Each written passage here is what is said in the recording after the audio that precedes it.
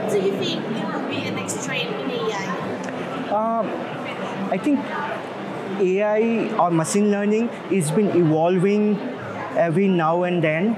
So I feel that uh, if you compare the evolution of our species, you know, in before there was fish, then amphibian, and then dinosaur, and then lot of mammals, and then human. We are the top species.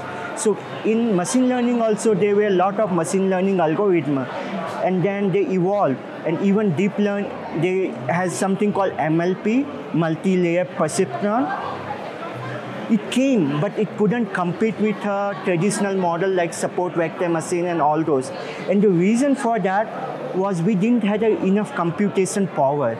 So what really happened is that when uh, Dr. Hinton, he, he's a fellow at Google, he come up with the idea of backpropagation, then deep learning really took off and people are solving everything using deep learning.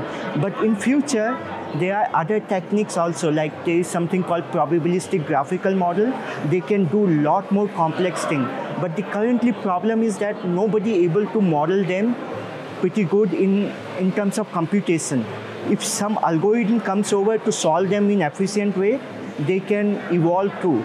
So at the current stage, like I see we have in a jungle, lion, elephant, and uh, like right now deep learning it's better than this it's like an advanced monkey but they haven't achieved the human like things so with the computation increasing and new algorithm coming i feel that in future when i'm talking maybe 5 year 10 year 15 year there could be a next wave would be more biasing approach or like a graphical they call probability probability probabilistic graphical model. They're going to be much more powerful than the currently deep learning approach.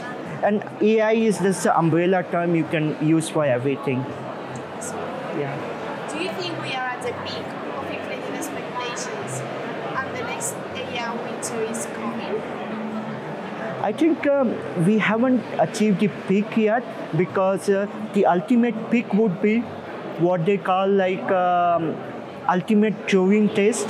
So what it means that if I can make a robot or machine which can talk to you and you cannot distinguish them from me.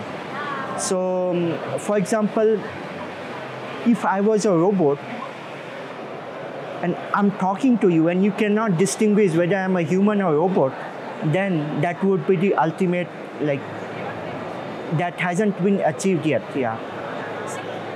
What do you think of your data? I think Big Data Spain is pretty nice. I really like the venue and the organization it has been is very well organized. The only thing I notice is that uh, they try to combine big data, machine learning and data science in one giant conference. But probably Big Data Spain can split it into three components, just big data, machine learning and data science. But I think uh, probably it's good also because attendee can have all the three experts in one one talk. So I think it's a pretty good compared to the other conferences I have attended and things like that. And number of people also pretty high and uh, I speak uh, in my talk and the quality of question asked was pretty good. That shows that the quality of people coming here, they are really, really interested in what in the in your subject. So that's a good thing. Yeah. Okay. Yes. So that's all. Thank you so Thank much. you.